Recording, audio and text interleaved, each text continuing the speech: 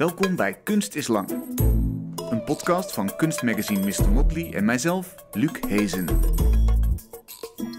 Goedenavond bij de elfde aflevering alweer van dit seizoen vanuit Vondel CS in het Amsterdamse Vondelpark. Je vindt ons in je eigen favoriete podcast-app, maar we zijn ook te zien nu op dit moment als je naar de Facebookpagina van Mr. Motley gaat, dan zie je ons hier zitten.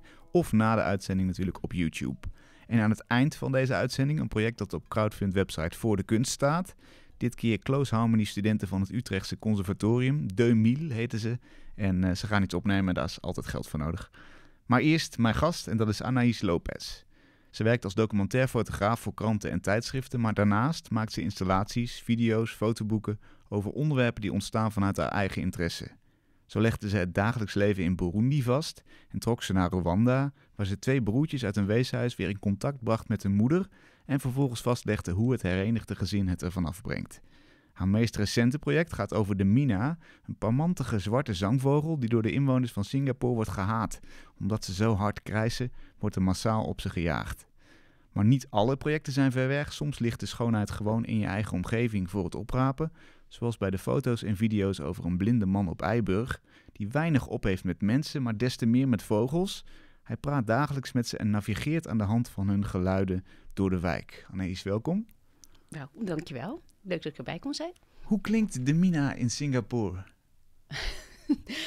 oh, je gaat meteen voor de, voor de juiste vraag. Um, hij, klinkt, hij heeft een heel hard geluid. Dus hij maakt echt zo... Zo'n heel hard geluid, ja. Wauw, zo hard ook. Ja, dat is inmiddels het, wel. Een, een, een teringherrie zou je kunnen zeggen. Ja, ja. Hij kon vroeger heel mooi zingen, maar nu schreeuwt hij heel hard. En uh, jij hebt van dit eigenlijk om hem heen, of, of haar, hoe, hoe, hoe noem je het? Want de Hem. Mina is de vogelsoort. Ja, hè, voor maar- mij is het dan een, toch een mannelijke personage. Oh ja, ja. Ja. ja, dus niet. Mina de voornaam, maar Mina is de, de, de, soort, soort vogel. Hè? Ja. Ehm, daar heb jij een project omheen gemaakt. Ja. Dat is een boek geworden. Het is, je, je, gaat langs groepen en mensen om vertellingen te doen. Eh, er is een eh, website met allerlei video's erop. Er is een app. Ja. Dus het is een, een totaal project eigenlijk. Ehm, waarom verdiende die Mina zo'n zo'n zo'n groot platform? Eh, nou, het, ehm, dat kan je dan zeg maar achteraf zien. Maar het is begonnen met een heel klein verhaal. Dat ik heel graag, heel nieuwsgierig was. Ik kwam Mina tegen in Singapore. En eh, ik kwam hem letterlijk tegen in mijn hotelkamer. En toen begon hij zo hard te schreeuwen. Dus toen vroeg ik me af, wat is er aan de hand met, dit- met deze vogeltje? Ja. Eh, en toen ben ik hem gaan volgen. En dat heeft vijf jaar lang geduurd. Dus eigenlijk heb ik alleen... In eerste instantie ben ik echt het vogeltje gaan volgen. En niet in eerste instantie nagedacht over al die verschillende platforms... en dat dat zo'n groot verhaal moest worden. Mm. Eh, het begint eigenlijk meer bij de nieuwsgierigheid van waarom schreeuwt zo'n vogel zo hard in de stad. En, eh, en de tweede nieuwsgierigheid die er kwam was dat ze zeiden dat het een nieuwe terrorist was van Singapore.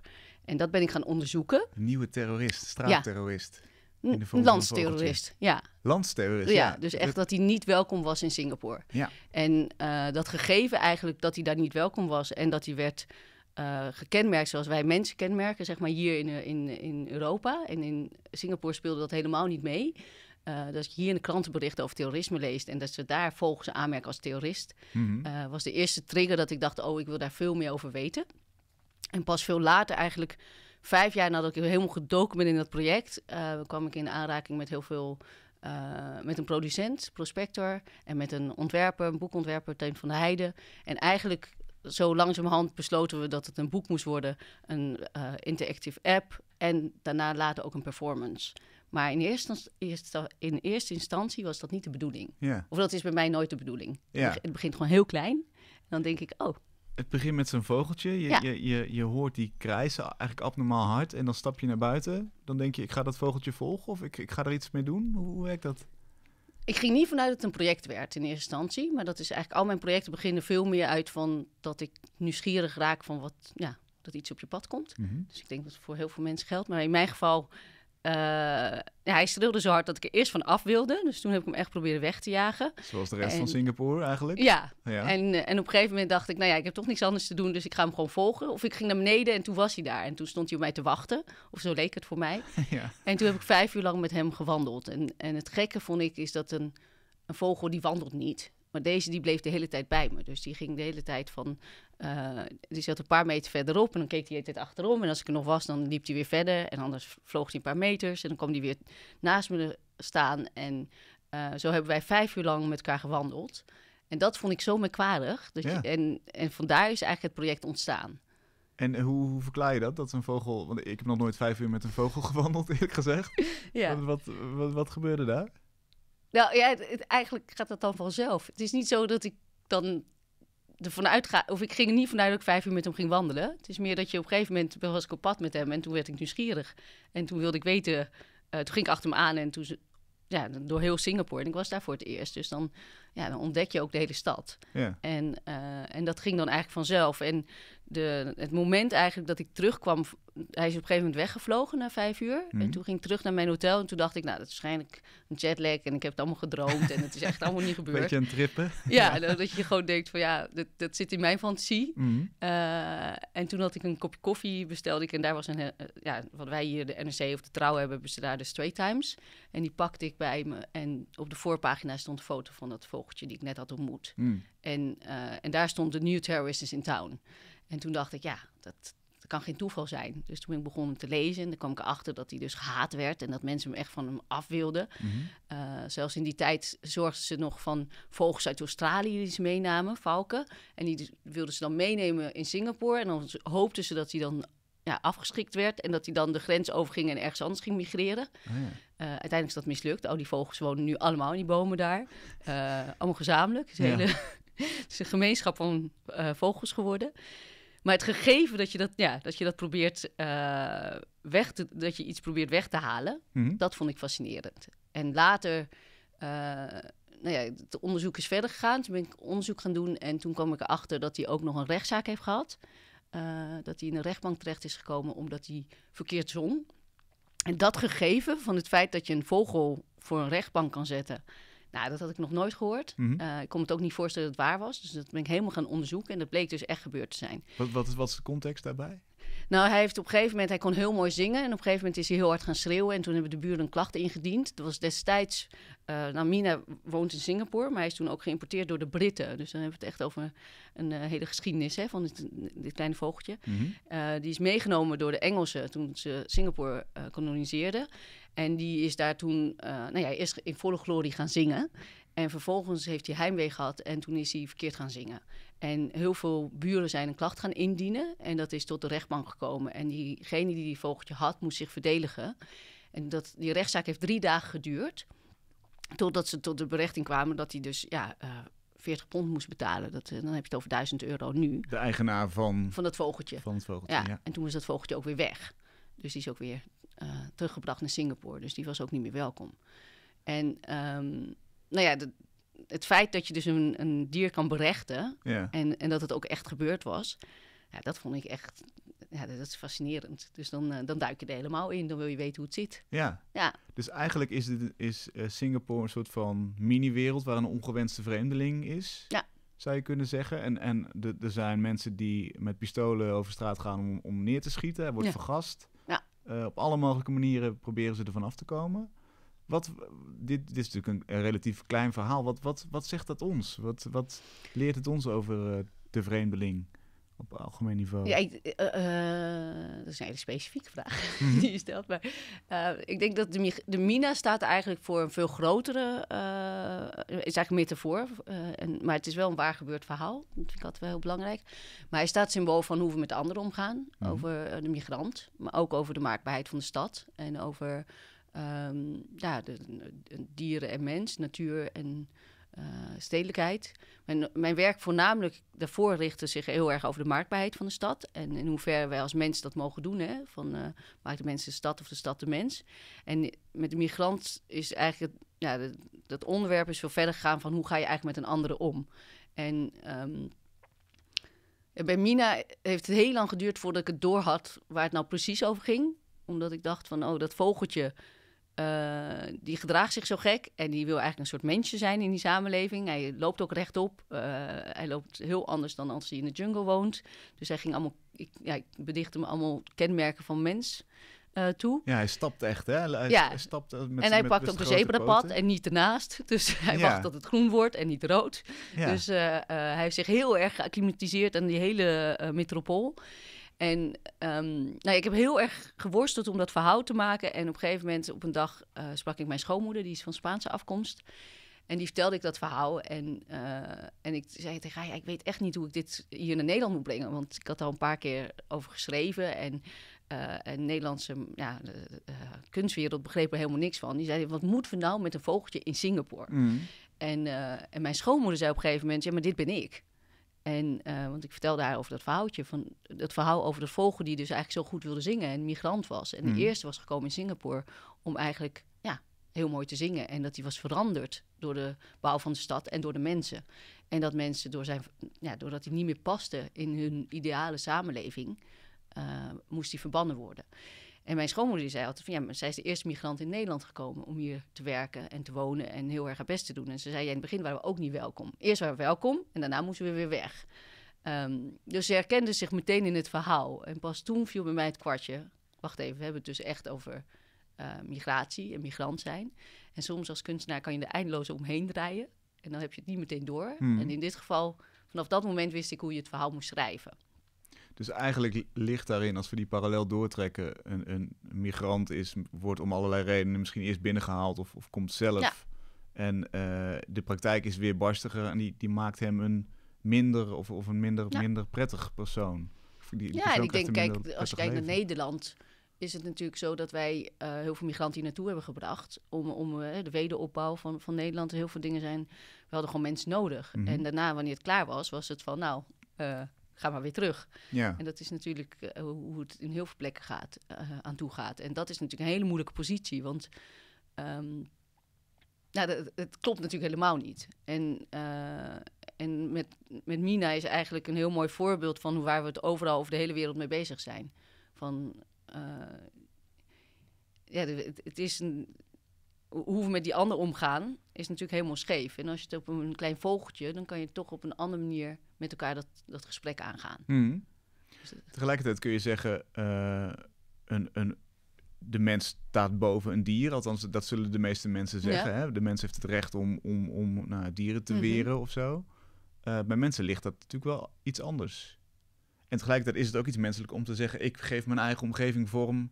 Wij hebben met z'n allen een land bedacht, bij wijze van spreken. Mhm. En daar, daar gelden onze regels of zo. Ja, Hoe, hoe, hoe- ben je anders gaan denken door dit project over zulke soort thema's? Open grenzen of, of hè, wie, nou, wie ik, ik geloof sowieso niet dat we. eh, ik vind de manier waarop wij onze grenzen trekken eh, totaal verkeerd. Maar dat. eh, eh, Voor het project vond je dat al? Of? ja, ja, ja, zeker. Ik vind dat, dat de, de, de, recht die je hebt van waar je geboren bent, geeft jou een aantal rechten. En, en, eh, de, en dat heeft alleen maar te maken met de plek waar je geboren wordt. Mhm. En dan ben je een soort superieur, terwijl dat natuurlijk compleet scheef is als je erover nadenkt. Want waarom maakt ons hè, dat je meer recht hebt op onderwijs, op, op beter status? Iedereen wil eh, een goed land waar je opgroeit, waar je, waar je veilig bent, waar je een zorgstaat voor je hebt.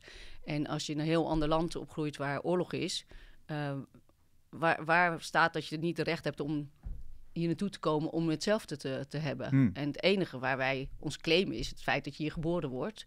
En dan krijg je het cadeau, in feite. Je krijgt Audi eh, ehm, luxe eigenlijk in feite cadeau. Ehm, Of als je pech hebt, krijg je niks cadeau. En nee, en dan, minder. en dan zeggen wij van, hè, wij noem ik even de Nederlandse overheid, Mhm. van eh, eh, we willen onze grenzen dichttrekken en we willen niet zoveel vreemdelingen hier hebben. En we hebben er al te veel. Terwijl dat natuurlijk, ja, in mijn opinie is het wel zo dat we, iedereen heeft recht om op een veilige plek ergens te zijn en te kiezen voor waar hij wil wonen.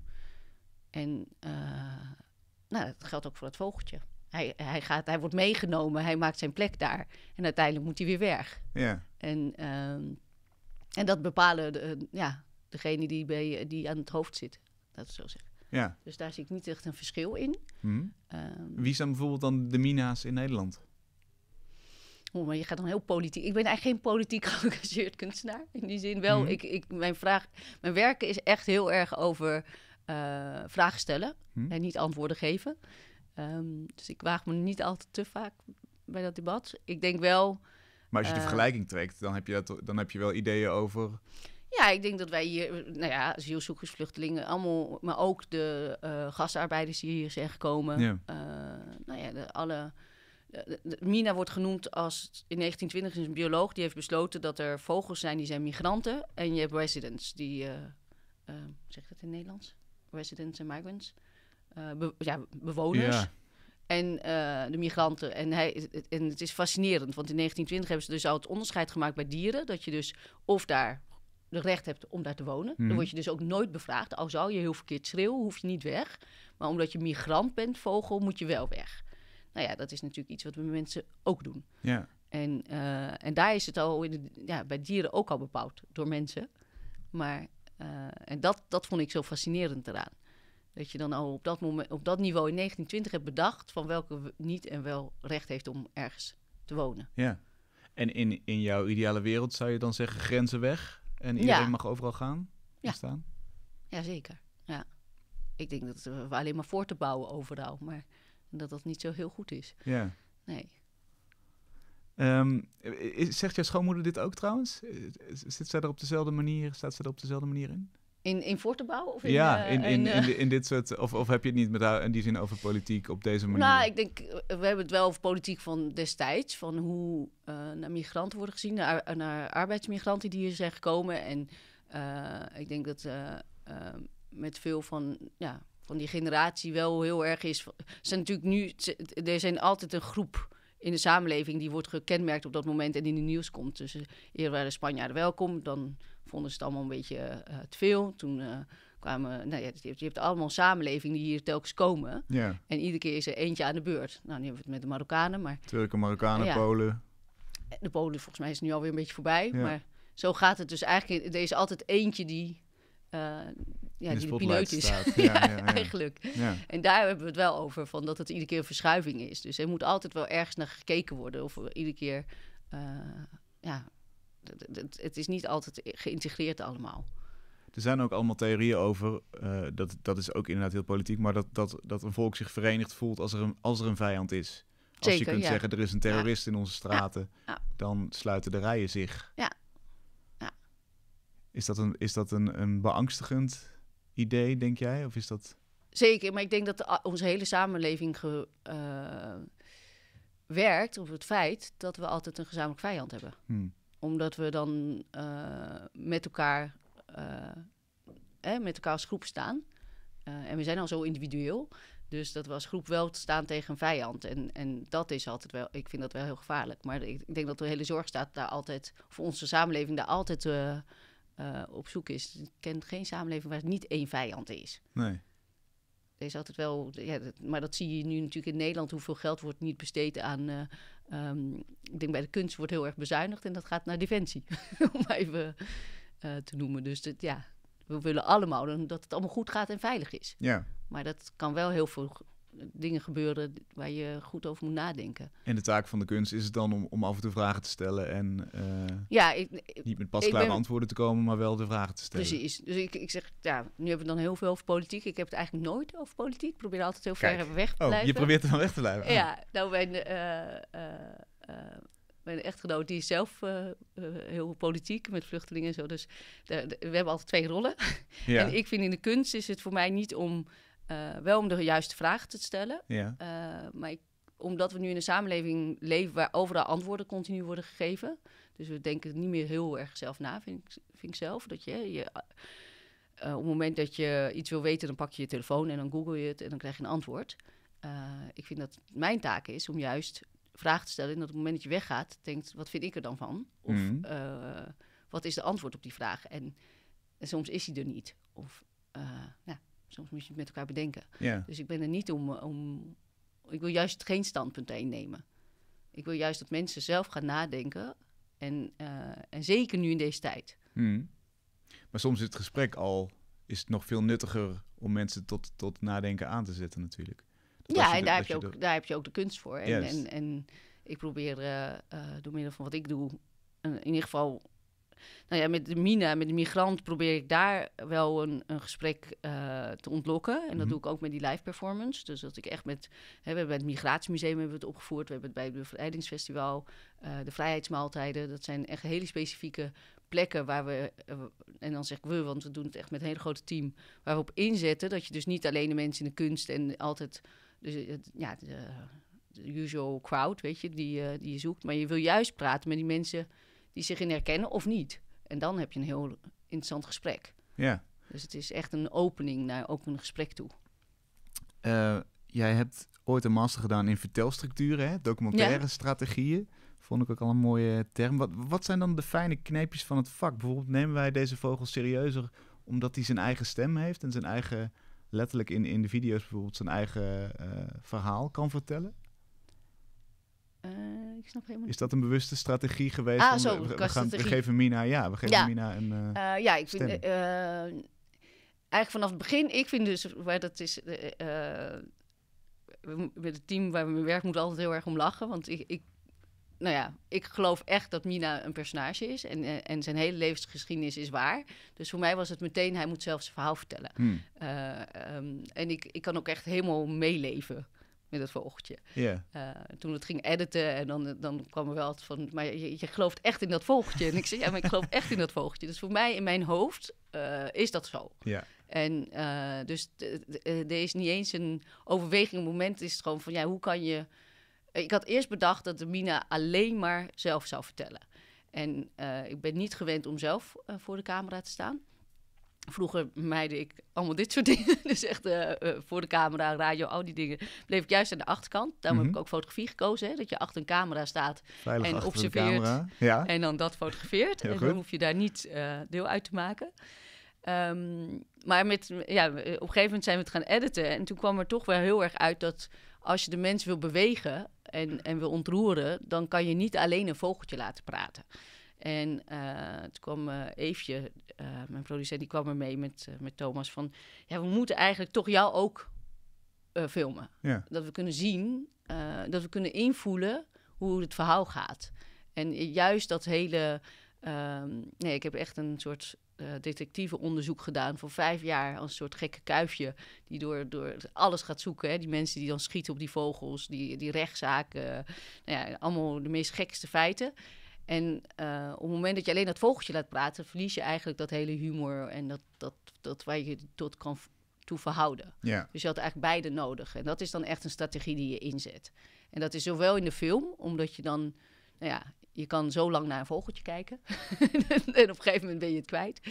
En in het boek hebben we het juist helemaal getekend. Dus daar, uh, toen kwam mijn ontwerper Teun met van... hé, hey, waarom gaan we niet, omdat we aan Kuifje dachten... echt je tekenen als er, ja, dezelfde stijl als uh, RC. Ja. En dan gewoon kijken van, kun je dan tot leven komen?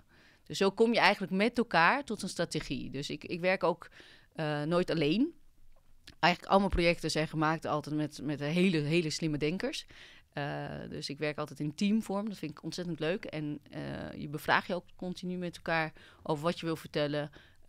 En hoe je het gaat aanpakken en in welke vorm. Dus die, ik, heb, ik geloof echt dat samenwerken, dat brengt je echt tot de ultieme...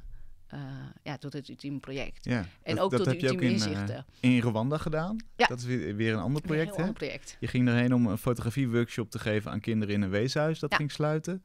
Twee jonge broertjes die bleken nog een moeder te hebben. En dan besluit jij samen met een andere filmmaker en een journalist, hè, weer dat, dat Ja. team, eh, om die, die broertjes te helpen en ze met hun moeder in contact te brengen. Wat, wat gebeurt er dan?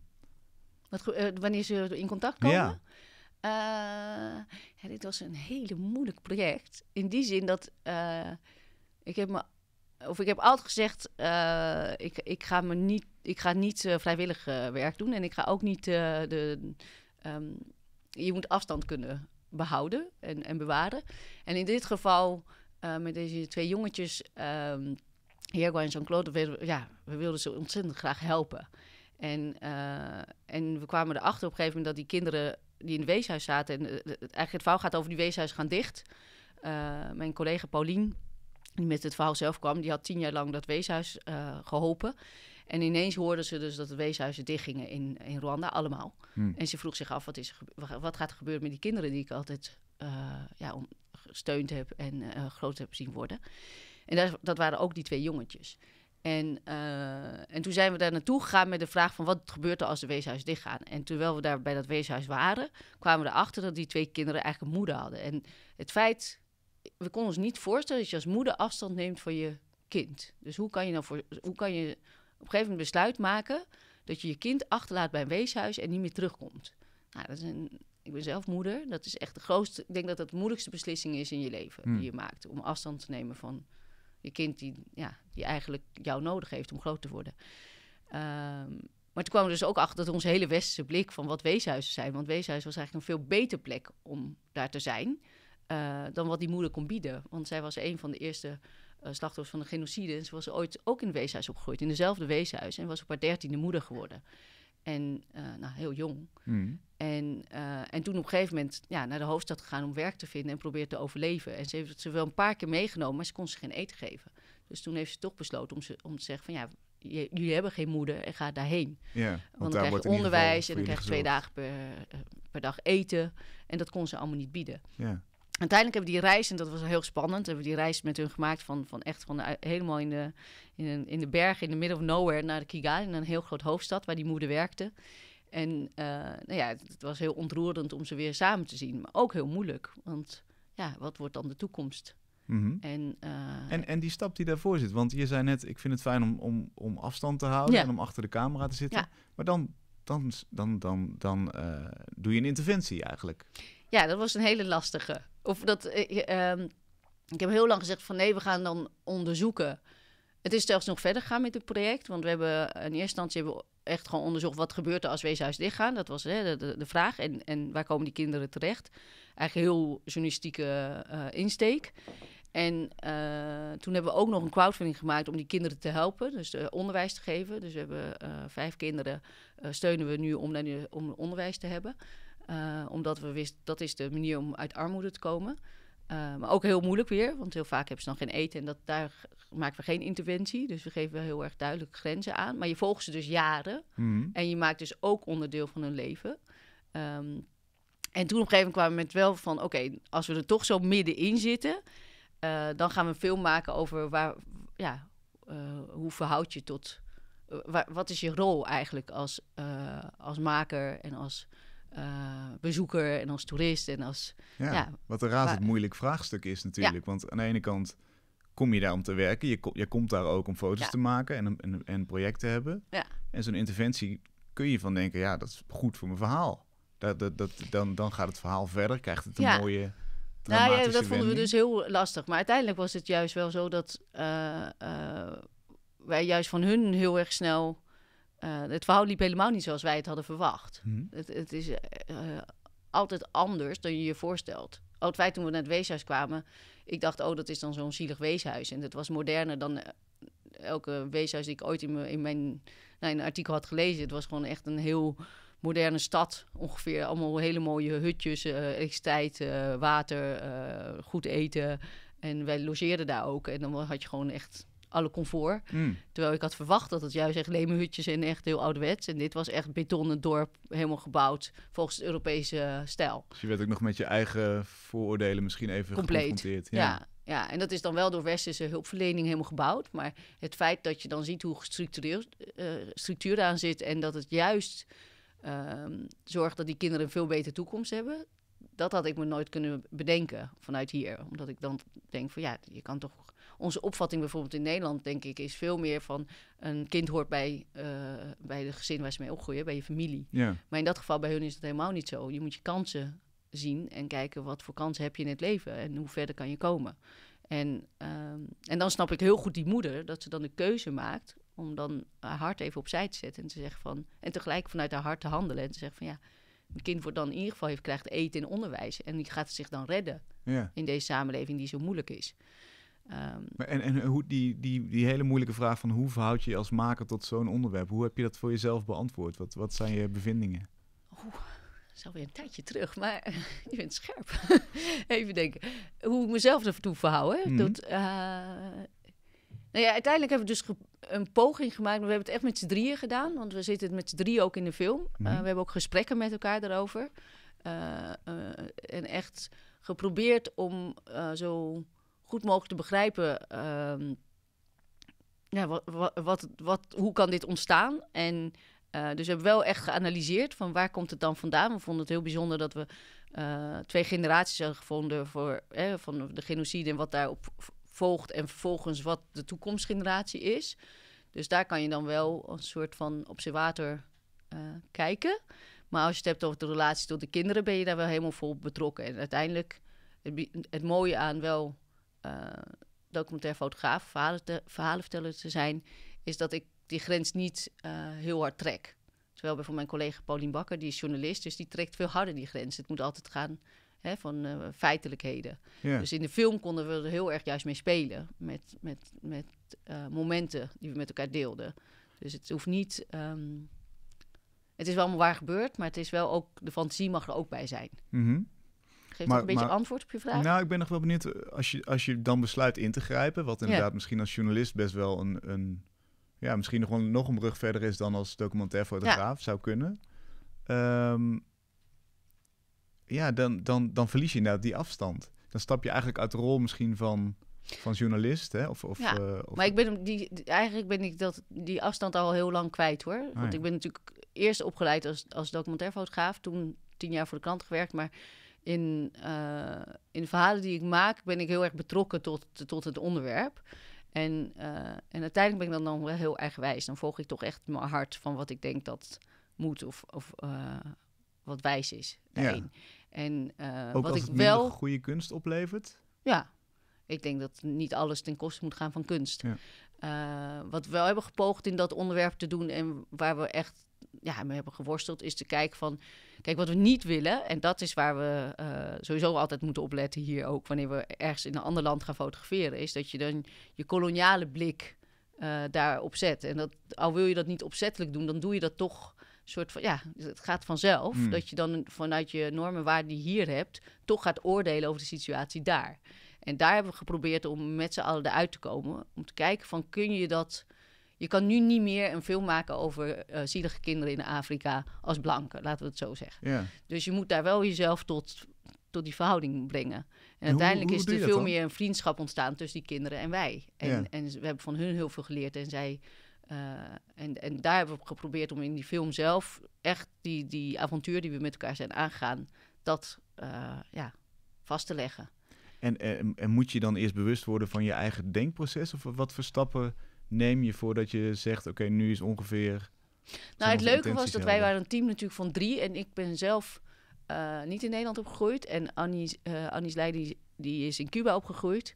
Eh dat was filmmaker die mee was. En Paulien Bakker is ja, uit Nederland, echt Nederlandse.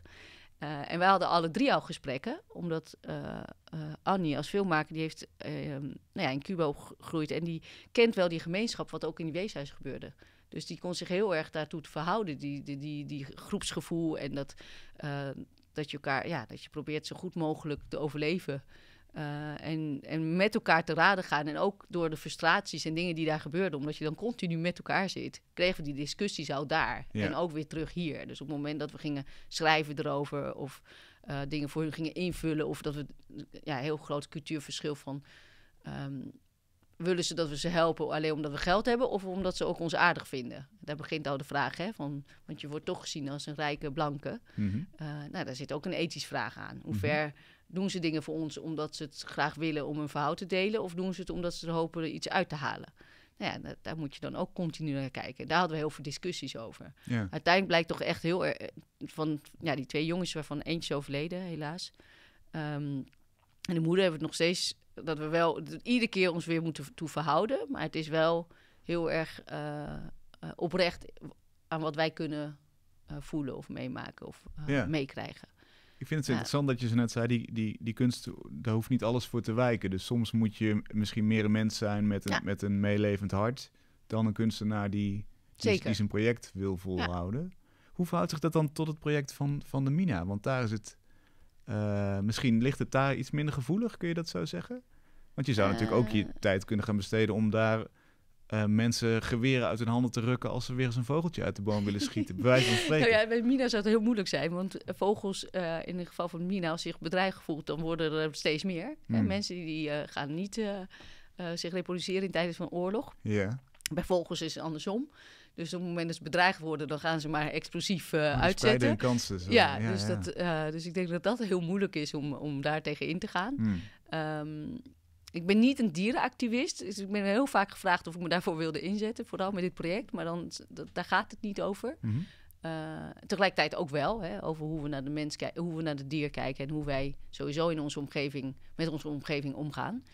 Um, maar het is natuurlijk makkelijker om een afstand te nemen van een vogeltje dan een, uh, twee hele uh, lieve jongens die, ja, ja, Die, die, die groot worden ook. En, en we hebben ze echt meegemaakt van klein naar volwassenheid.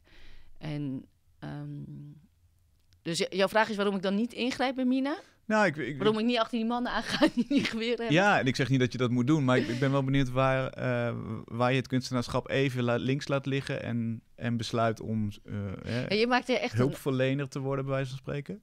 ik denk dat je, dat is misschien, misschien heb ik het niet zo heel goed. Um, ik zie dus niet, voor mij is het alles wat ik doe, is gewoon wie ik ben. Hm. Dus ik, uh, ja, in termen ik, ik noem mezelf ook nooit kunstenaar. Ik zeg altijd, nou, ik doe gewoon wat ik doe. En uh, dat, uh, dat is begonnen met documentaire fotografie. En nu ben ik verhalen vertellen, want ik vind het superleuk om verhalen te vertellen. Uh, maar dat doe ik elke dag. Vanaf het moment dat ik opsta tot, tot ik naar bed ga. Mm En dus het is niet dat ik daar vakantie van neem. Dus eigenlijk alle besluiten die ik maak, zijn altijd inherent aan wat ik doe zijn onderdeel van het lopende verhaal, als het ware. Dus in het geval van Mina heb ik wel een paar keer gedacht en van dit kunnen jullie echt niet doen. Je kunt niet uh, die vogels zo neerschieten en, uh, en uh, in een van de documentaires in, in de aflevering 4 hebben ze een krij gepakt en die gaan ze dan vastbinden. En vervolgens gaan ze lokken dat die andere krijen komen. Nou, en dan, dan, dan kan ik heel boos worden, want dan denk ik, ja, dit is gewoon, dit is gewoon gruwelijk wat je aan het doen bent. Mm. En, en, maar dat is ook de motivatie om die film te maken. Want ja, destijds toen dat gebeurde had ik beloofd om dat verhaal te gaan opschrijven en dit zo groot mogelijk te gaan tonen. En uh, dus dat is mijn drijfveer op dat moment. Om juist nog veel verder te gaan en te onderzoeken en blijven volgen van wat, hoe kan dit nou?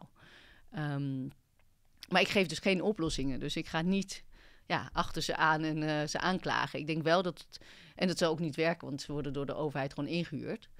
Um, maar dat zie ik niet als mijn taak, zeg maar. Dan, dan ben ik met hele andere dingen bezig elke dag. Ja.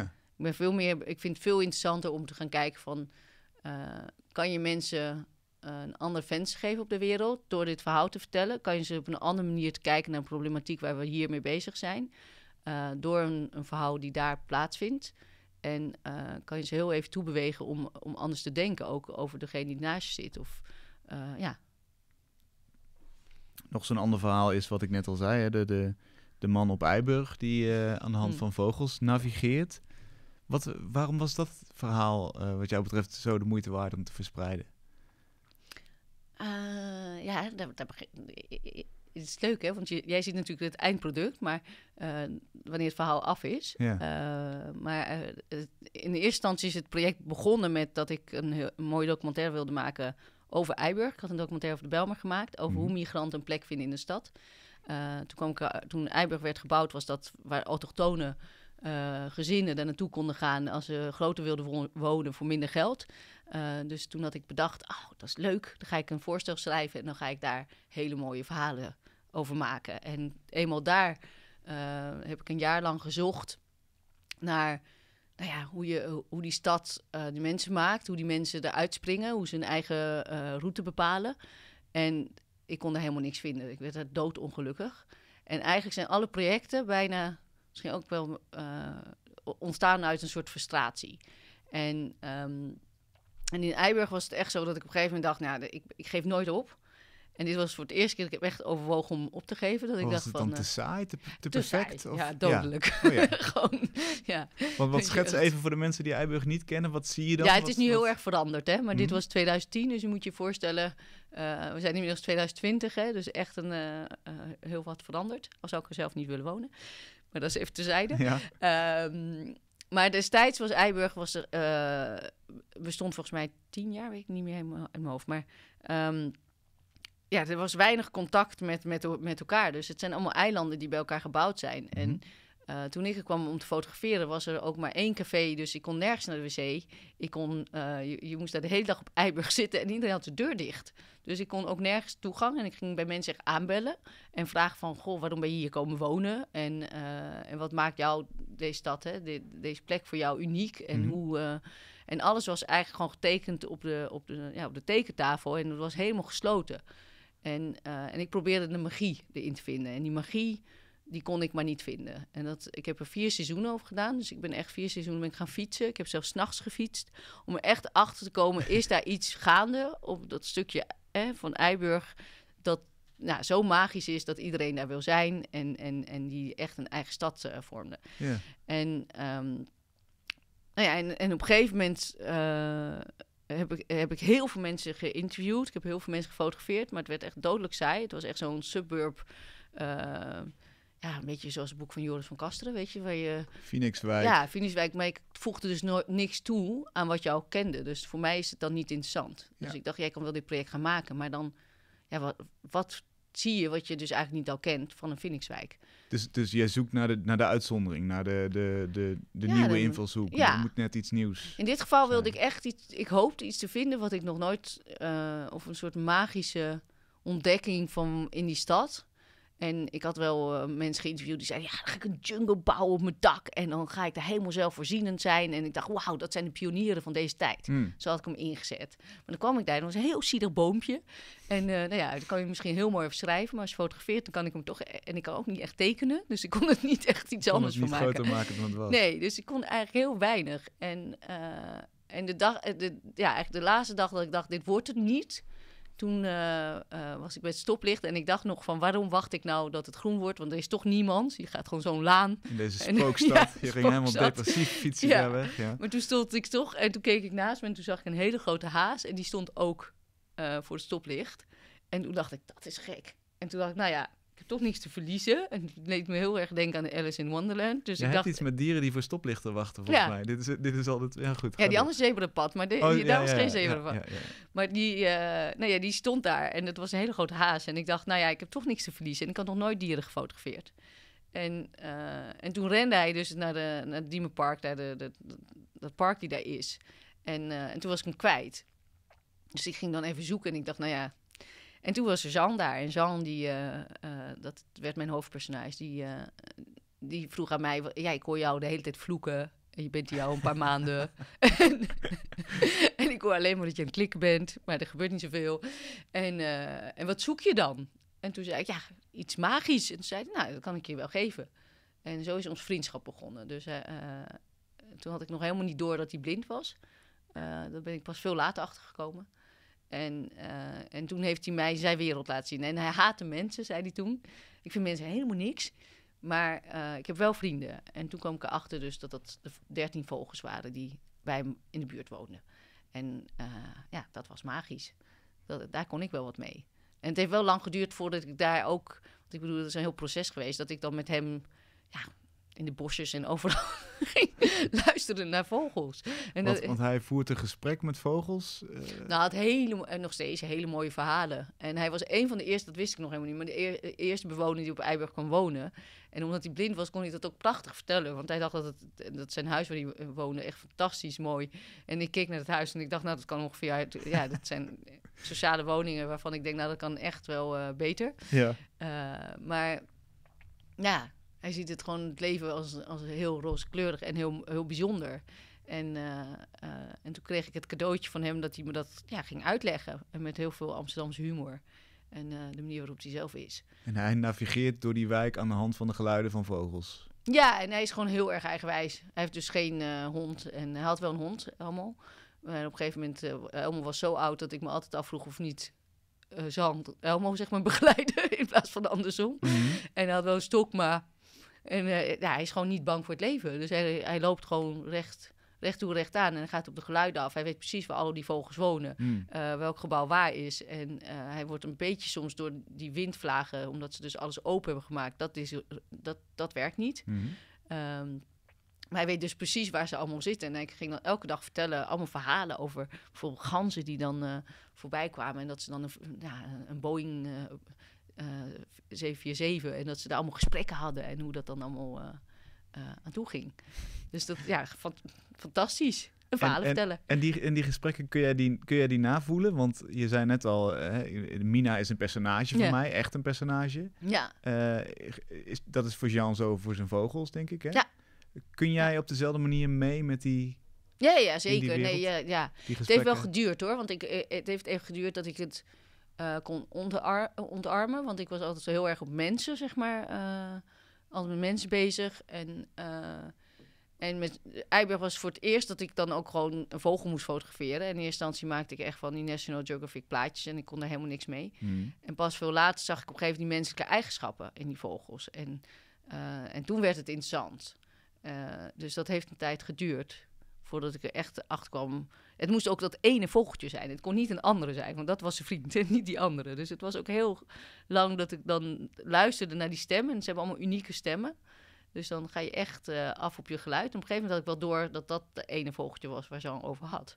Dus dat, ja, die hebben allemaal een andere geluid, een uniek geluid. En toen werd het een persoon ook, Ja. een personage in jouw Zeker. verhaal. En ook, je hebt een aantal eh, die altijd bij zijn raam komen en die eh, ja, vlakbij hem eh, eh, heel hard eh ruzieën. En je hebt twee vogels die dan continu ruzie met elkaar maakten. Nou, en dat ging hij dan allemaal aan, aan mij vertellen. Van kijk, die twee hebben dan weer ruzie en die komen weer langs. En, eh, dus ja, die, die hebben ook gewoon een hele leven. Die hebben, gewoon- het is ook wel een heel gemeenschap in dierenwereld. ja. Dus hij Ja. stelde zijn vrienden aan je voor eigenlijk, Ja. de vogels. Ja, en Mina is eigenlijk daar ontstaan. Die nieuwsgierigheid is eigenlijk dat ik met Jean zoveel eh, eh, bezig was. Dat op een gegeven moment hij heeft mij geleerd dat, dat dieren niet zomaar schreeuwen. En, niet, en altijd wel wat te zeggen hebben.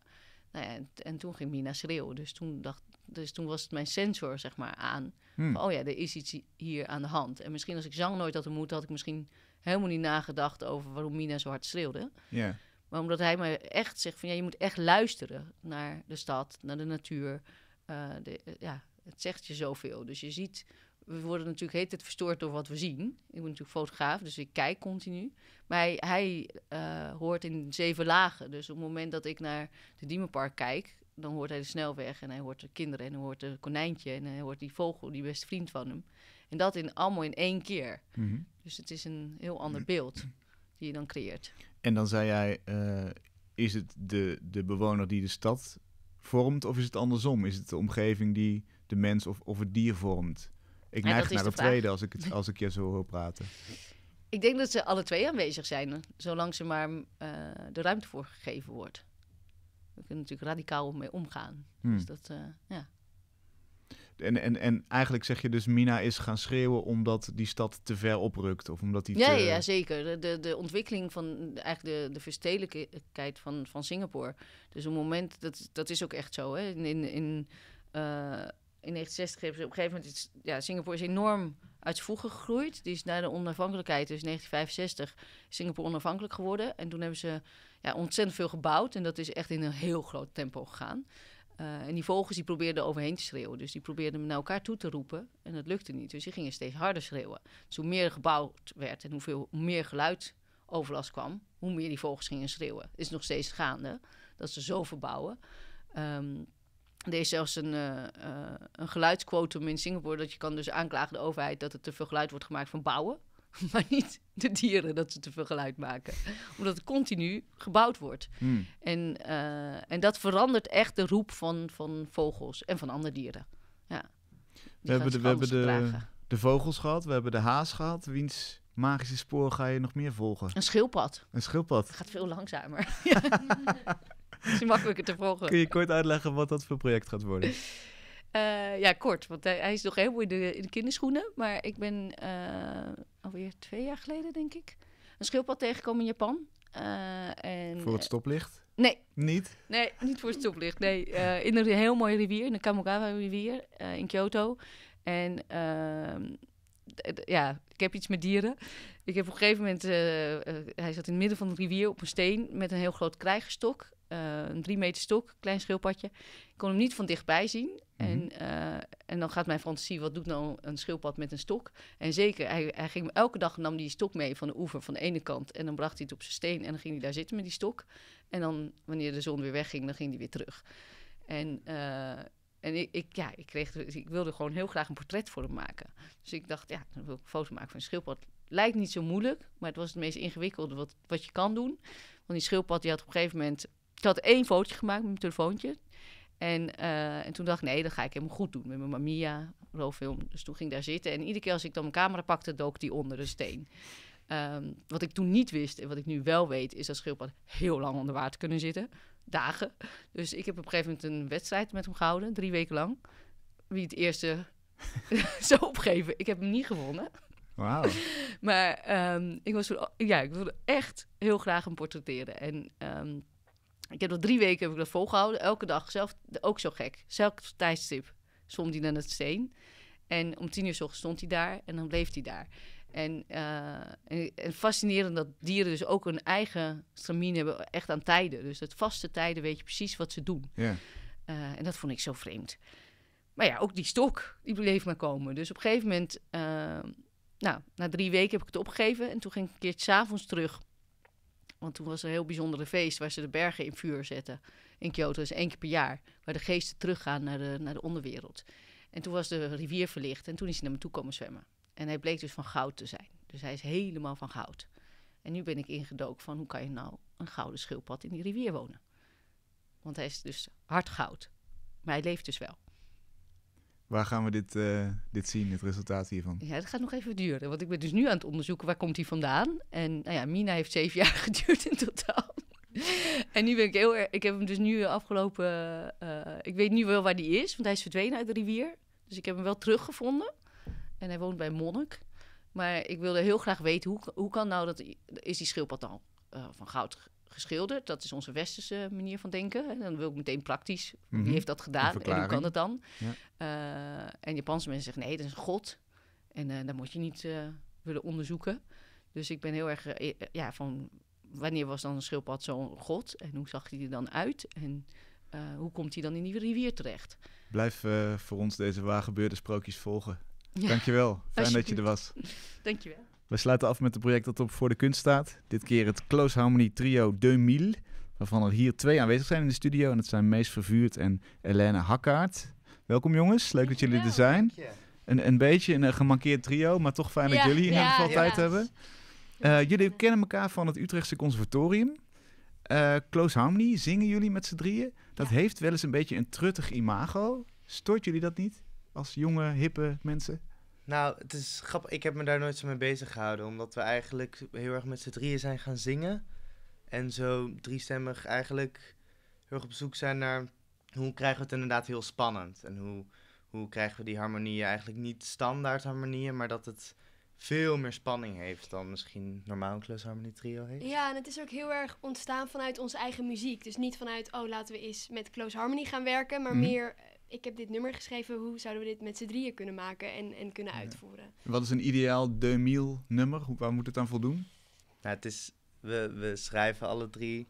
We, we doen hele andere, vers- verschillende stijlen eigenlijk, alle drie. En, zo proberen we dat alle drie zo'n beetje die eigenheid erin te combineren. Wat zijn de drie stijlen, noem ze eens? Nou, ik ben bijvoorbeeld meer, meer poppy. Mhm. En eh eh Fenne Fenne is is, meer meer jazz. jazz.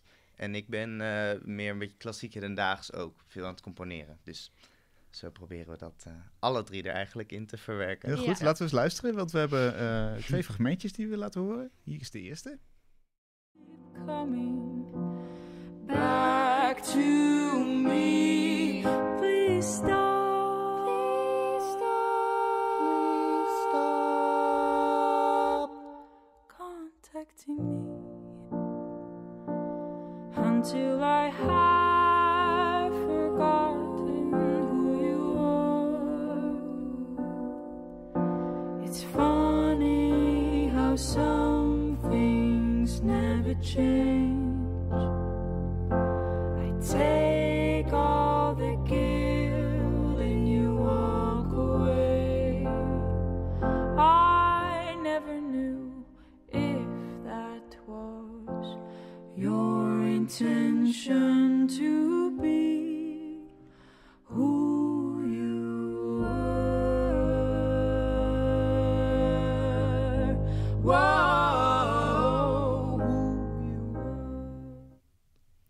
Ik ze alle drie inderdaad wel hoor, die stijlen. Heel mooi. Heel eh, eh, eh, klein en toch heel rijk geluid eigenlijk. Ik ben ook nog benieuwd naar een technisch ding. Er zitten altijd van die bepaalde kippenvelmomenten in Close Harmony. Dat Ja. kunnen jullie me vast uitleggen. Hoe werkt dat?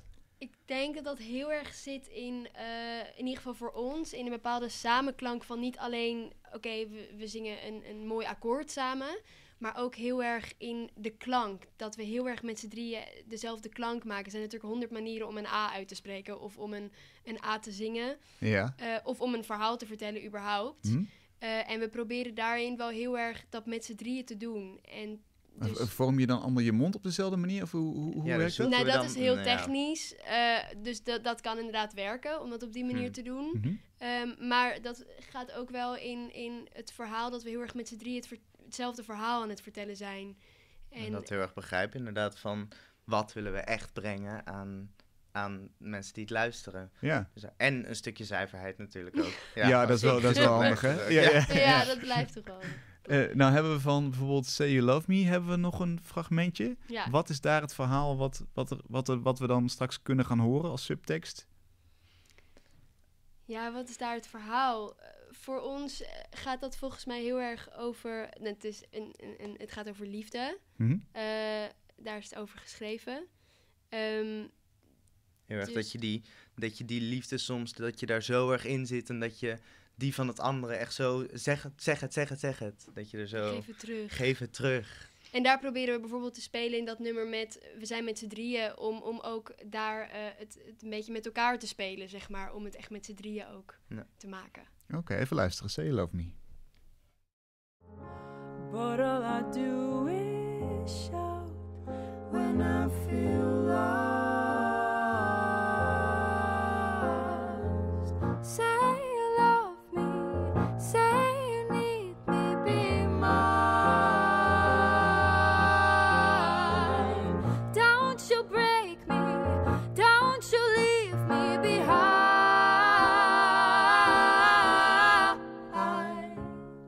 Daar zat hij volgens mij weer, zo'n kippenvel momentje. toch? ja.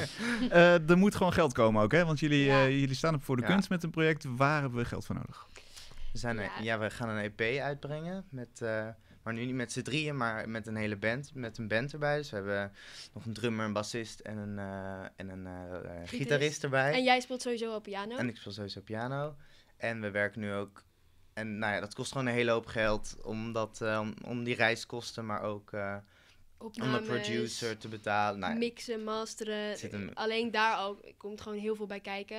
en, en- in, en in ook in het performen, dus als we live performen, we halen er heel graag hebben we eh, coaching eigenlijk van ook andere mensen. Dus even die even een blik van buiten even iets geven. Ja. Dat helpt ons ook een hoop. Dat we ook zo Ja, even, oh zeker. ja. En dat kost allemaal geld en, en daar, eh, Ja. daar vragen jullie hulp voor. Ja. ja. 2000 op zijn Frans, hè? 2000. Yep. Zo vind je het op, eh, op Voor de Kunst. Dankjewel, fijn dat jullie er waren. Mees en Ja, Helene. dankjewel. Bedankt. Dank je. Tot zover Kunst is Lang voor deze week. Volgende week zijn we er weer. En eh, dan eh, zit hier Monier Samuel tegenover me. Eh, heel leuk als je er dan weer bij bent. En he- heel leuk als je ook een recensie wilt achterlaten. Als je dit nou een goede podcast vindt, vertel het aan iemand anders of geef ons een goede recensie. Graag tot volgende week.